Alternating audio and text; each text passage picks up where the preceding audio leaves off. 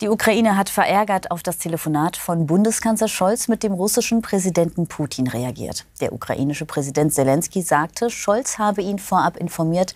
Er kritisierte aber, das Gespräch entspreche lediglich dem Wunsch Putins, die Isolation Russlands zu verringern. Gestern hatte der Kanzler zum ersten Mal seit zwei Jahren wieder mit dem russischen Staatschef telefoniert.